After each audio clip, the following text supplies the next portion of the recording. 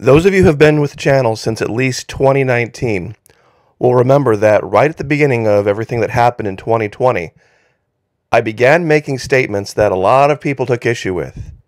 I said Florida is on the ground separating itself from the rest of the United States. Now, while in technical law we are still part of the country, de facto we are our own nation, and began referring to Florida as the new Free Republic of Florida.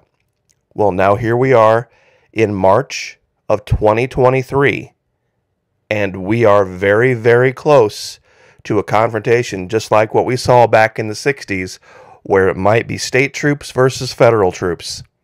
It is going to be on like Donkey Kong. What has just happened in the last two hours is a big, big deal. Of all of the videos I've done, this might be the most important. This is going to go down in history. Mark my words. Now, what am I talking about? Of course, this issue with President Trump being indicted. This is from the governor's office just a few moments ago. The weaponization of the legal system to advance a political agenda. This is Ron DeSantis speaking here. The weaponization of the legal system to advance a political agenda turns the rule of law on its head. It is un American.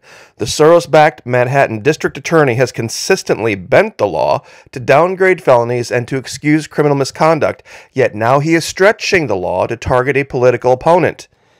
Now, pay attention here. This, this paragraph right here should make everybody wake up. Florida will not assist in an extradition request given the questionable circumstances at issue with this Soros backed Manhattan prosecutor and his political agenda. Now, everything going on between DeSantis and Trump needs to be put aside right now. It is time to close ranks. They can settle their differences later. If any of you had a doubt about the leadership of this governor, this should put it to rest.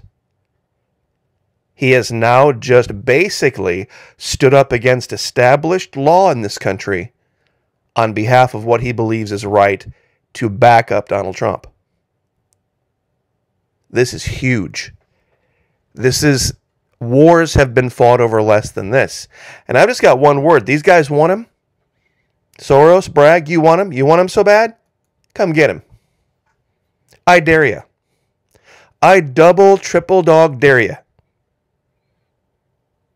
You do not want to mess with Florida right now. We've been nice and we've been cordial, and our governor has been uh, very circumspect in the way that he has spoken about the events of the last three years, but he almost slipped a couple weeks ago, and you could see it on his face when he slowly and coldly turned to the camera and said, Florida stands alone. Because that's how we feel right now after 2020. Yeah, we've had some folks that have kind of rallied to our side after the fact, Texas a little bit, Tennessee perhaps to some extent, South Carolina. But when it came to the offensive operations of 2020 and standing up against DC, standing up against the dictatorship that would have taken hold, it was Florida standing alone. And we're going to now stand alone again. And I'm sure a lot of people are already typing. Don't doesn't Governor DeSantis know what extradition law is? Yeah. Absolutely. But there's reality. You see, this is the difference between de facto, meaning in reality, what's going on on the ground, and de jure, D E space J U R E, in law. See, in law, you can say whatever you want. But in reality, if we don't want them to have Mr. Trump. They won't. Period. End of discussion. That's just the way it's going to be. Fact, we have our own militia again. We have stood up over the last two years, quite a few guys. In the specific, not National Guard, Florida State Militia, the Sons of Liberty. And there are plenty more ready to rally. And Mark, it's and guys, look, it's not about this anymore. She lives in Ocala. For those of you who don't know, she has a beautiful horse, nice ranch. She still directs movies. She lives in Ocala. She lives here in Florida. It's not about his romp with Stormy. It has nothing to do with that anymore. I mean, yeah, that's the basis where all this came from. But it's really not about that. Nobody cares. Given how often this goes on in Florida, old man, younger woman, did yawn, news at 11. Nobody cares. But for those of you who want to get read in on this, extradition law in the United States Extradition law in the United States is the formal process by which a fugitive found in the United States is surrendered to another country or state for trial, punishment, or rehabilitation. Interstate extradition, the extradition clause in the U.S. Constitution requires states, upon demand of another state, to deliver a fugitive from justice who has committed a treason, felony, or other crime to the state for which from which the fugitive has fled. Sets the process by which an executive of a state, district, or territory of the United States must arrest and turn over a fugitive from another state, district, or territory.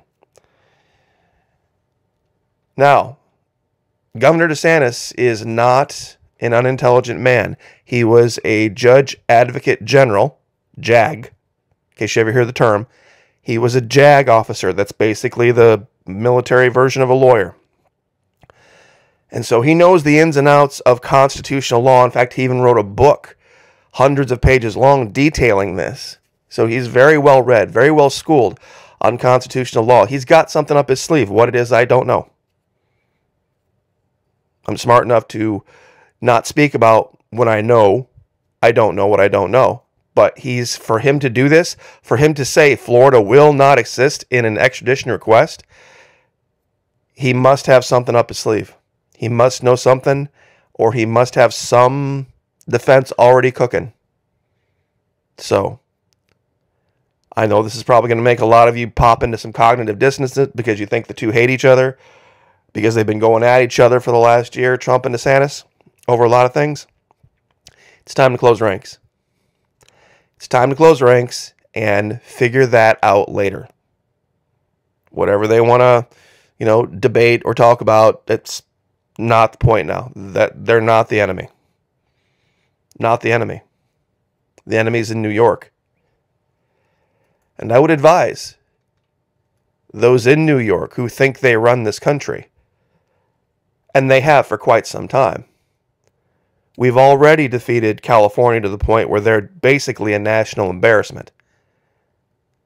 This little issue with Disney and them vacating the board's powers and handing it back to Disney has no right to operate at all in the state of Florida. And look, there are plenty of other private companies that would love to swoop in and build roller coasters and all sorts of things for people to do. If they would like to basically take their toys and leave, we ain't got an issue with it. We do not have an issue with it. I've said this before, and I'll say it again. Governor DeSantis is an effect. He is not a cause. He has been a hell of a governor. But there are people in this state that are way, way, way to the right of him. And I mean way to the right. To to to everyone else in the country, Governor DeSantis is literally over way on the far right with Trump. There are people way far to the right of them that would have, well, ladies in public, you would be wearing dresses. There would be no more pantsuits in the state, period. That'd be the end of it. There are people here that would not have women working. There are people here that would go back to the 1950s in a heartbeat and reestablish everything exactly the way they were back in 1953, meaning reopening the asylums and filling them back up with you know who. And I'll just leave that up to your imagination about who's running around right now in our country mentally ill and deceived and thinking that they're really part of polite society when they're not. So I will leave it there, but mark my words, this is going to be the day. Today is going to be the day people look back on and say, wow, a sitting governor finally stood up for what was right and said, enough is enough. And he did it again, but this time, this time it's going to have teeth. This time, New York probably is not going to take very kindly to us not honoring their extradition request, and they may take it to Washington, D.C. And so then we're going to have a Washington, D.C., New York versus Tallahassee showdown. And it's going to get hot. Mark my words, it's going to get hot. So I will leave it there. But well said, Governor. Very much appreciate it. As far as you two go, bring it. That's all I'm saying. Bring it. Bring what you got. We'll see how it turns out. God bless. Like, share, subscribe. We'll see you guys next time.